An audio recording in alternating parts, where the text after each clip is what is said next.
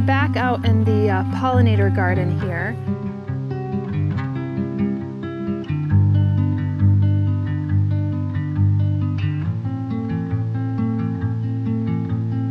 And I promised that we would do some videos on specialist pollinators. And it's definitely something that I've taken to heart a bit more and become very passionate about. So I figured that this will end up being like a more multi-part series, but I wanted to cover today 15 of the most important plants here in the eastern United States for specialist pollinators. Now, for those of you who are tuning in from maybe the central or the western parts of the United States, there'll be some overlap to these, but you'll have your own uh, top plants for where you are regionally speaking. And just because I'm highlighting Eastern North America, it doesn't even mean that these are the top plants for New York State, which is where I am right now. One of the most important families of plants is the Asteraceae. You know, some people would know them as the aster family or the composite family or the daisy family. And this is what these flowers look like. So they'll often have these little ray florets and then the little disc florets in the center. In fact, you could actually see this better on this uh, sunflower right here. So you have these giant yellow rays. So those are the ray flowers. And then these are the little disc florets. So there's like an inflorescence on the inside as well. And those ray florets basically signal to pollinators, hey, come and pollinate me. And they actually act a little bit like bracts. Like, so if you think about Cornus canadensis or Cornus florida, our dogwoods, they have those like more colorful bracts that kind of bring the pollinator into the florets in the middle. That by far is a family that is the most impressive when it comes to specialist pollinators. And there's, uh, you know, there's really a reason for that. It's because that is the second largest family of plants next to orchids. So if you think about all these specialist pollinators that have been emerging, you know, with these plants for tens of millions of years. I think the Asteraceae family is probably close to 90 million years old. They basically co-evolved together and because they were so cosmopolitan, because they were so widespread, then these specialist pollinators basically, you know, co-evolved and took a bet, you know, if you will, to co-evolve with those uh, plants. So when we remove those plants out of our landscape, whether it's because we are developing it and removing the fields where the asters are, or um, because we're deciding on plants that uh, are non-native plants or cultivated varieties of plants, then some of those specialist pollinators then fall by the wayside. Now, of the 15 plants of the eastern United States, 13 of them come from the aster family. And the first one of that is solidago or goldenrod, which we could come over here because there's goldenrod everywhere. In fact, the most aggressive goldenrod that we have is Canada goldenrod. So you'll see it come here. But we have many different goldenrod species. So this is in the genus Solidago. you can see one of these uh, aster groupings are here as well. So these are just naturally coming up and some people might consider these weeds. But uh, you will find so many different types of insects on these Solidago if you look really close enough. So that would be uh, the number one. So number two is Helianthus. And that's our that's what we already saw. That's that's our sunflowers.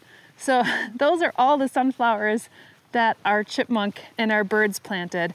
And those are some of those iconic plants. And they are often crawling in pollinators. You don't see anything because we typically shoot in the morning. It's really cold and chilly in the morning and it really isn't to the height of the day that you see actually all the, the pollinators coming out. So Helianthus is number two.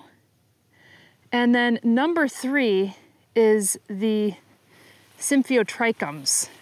These used to be called asters in the genus Aster, but they got moved over to Symphyotrichum I haven't read the literature, but I'm sure because the aster family is so large, it probably got blown up and put into different genera. This is actually our native um, aster. So this is, I think, Symphyotrichum laevis.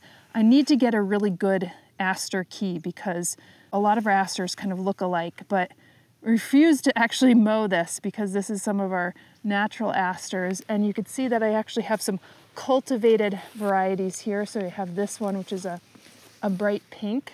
And it has been shown by Mount Cuba Center and a few others that sometimes our cultivated varieties actually don't attract a lot of pollinators.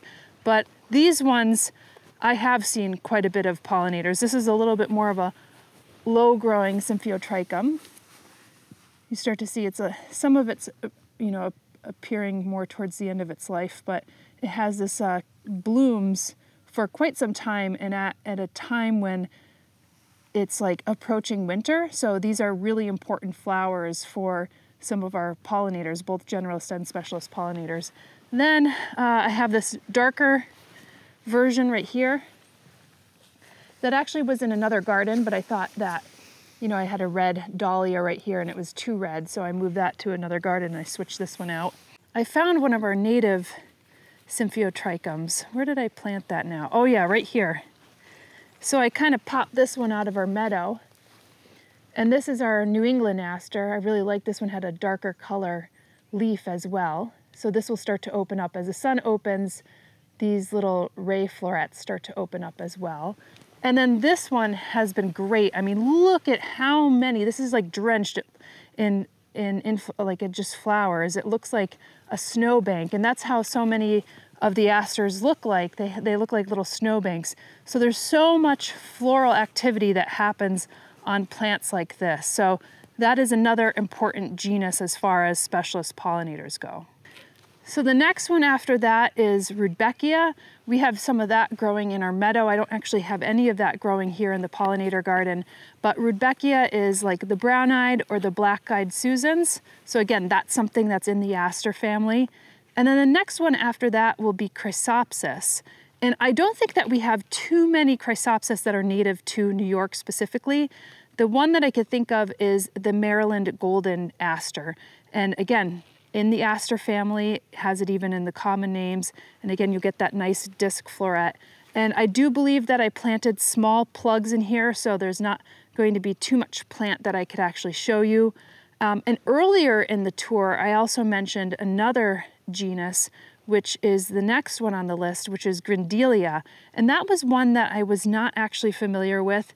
It's called curly cup gumweed, and it's often used uh, medicinally for skin issues. So if you have uh, poison ivy, for instance, that's one of the quote unquote cures for poison ivy is that curly cup gumweed. And we do have, I think, one or two that are native to New York. So those were two plugs that I actually put in and made sure that we had here for some of our specialist pollinators. The next one on the list is Coreopsis, and we have quite a bit of that growing here. Now this is a cultivated variety of Coreopsis. So this is often called tick seed. Um, this is lanceolata because it has the lance-shaped leaves. I do have the native variety of Coreopsis in the yellow garden that we have over there. They tend to bloom much earlier, I noticed, than this one. And oftentimes when you have a cultivated variety, they bloom not necessarily when the native variety blooms. And that's really critical uh, if you want to attract specialist pollinators, then get the, the native species that's preferably native to your region because a lot of those specialist pollinators only have a small window of opportunity that they could use in order to uh, sync up with pollinating that plant. So if you want to go with the cultivated variety, fine, do that, do that, but make sure then you have that native species in your landscape as well. All right, so the next one on the list is Heterotheca. This was one that I was also not familiar with. So it's also called camphor weed. Now, again, this is something that's uh, popular for specialist pollinators within the eastern United States. I do believe that we only have one that is native to New York, and that's uh, the camphor weed variety. And the next genus after that is not in the aster family. So this is like one of the two that are not in the aster family, and that's Salix. So some of you will recognize that that's our native willows. And I actually am not sure about the ones that are non-native if our specialist pollinators actually respond to them as well.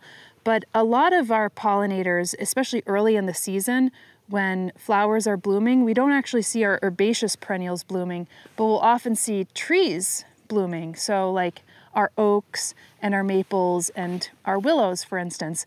Well, Salix happens to be a very popular specialist pollinator plant, as well as a plant that's good for as a host species for, for other insects as well.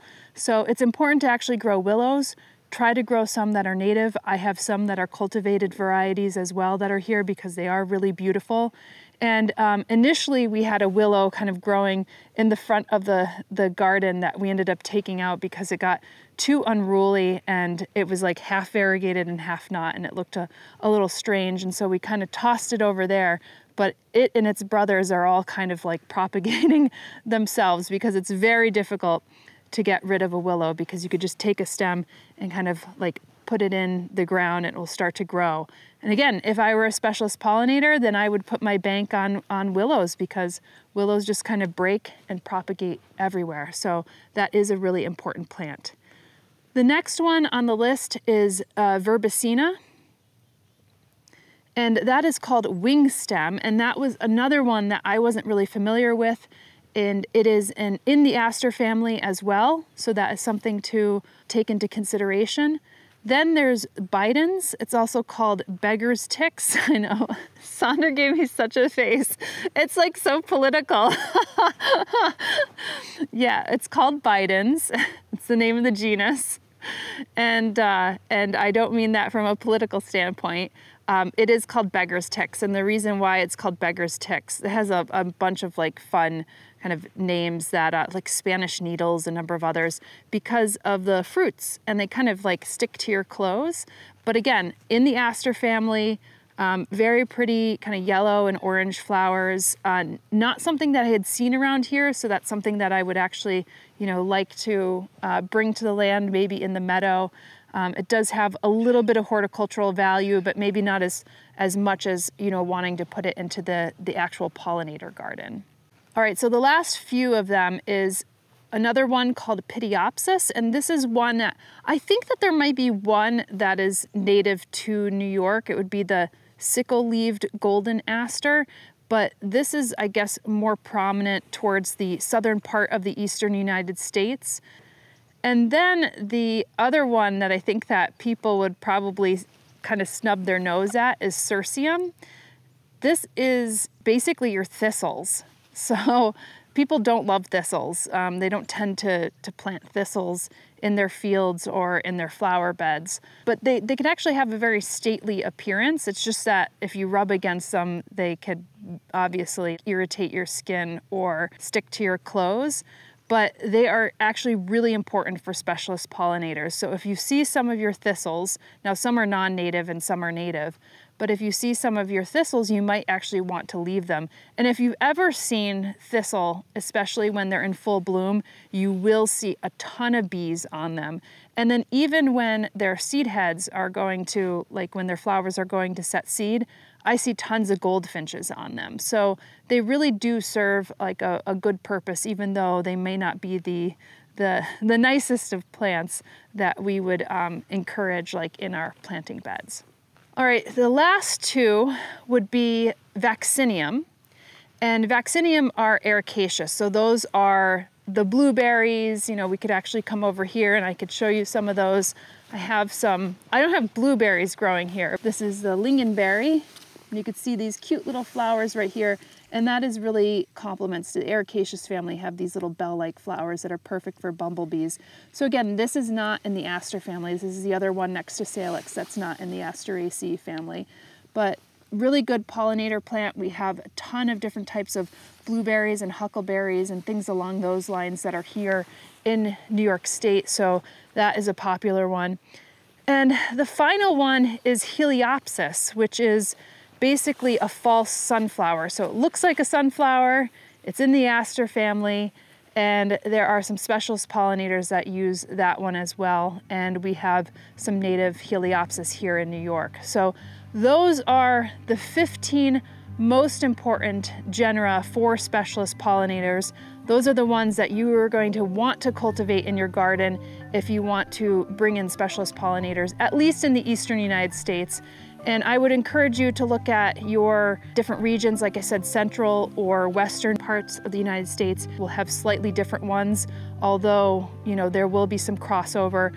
I do know in the central and western part, Fabaceae, the family of Fabaceae, which are the legumes, are really important to specialist pollinators out there, which you don't see as much here in the eastern United States.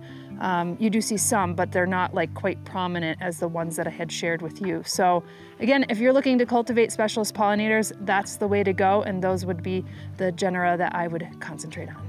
Thanks for taking time to watch this video. Now you can find other videos on specialist pollinators here on this channel. And if you're enjoying our videos, consider liking, subscribing, hitting the notifications bell, and even tipping. We are reinvesting 10% of our Google AdSense revenue back into projects here in the Finger Lakes community, so your support of this channel goes a long way. We'll see you in the next video.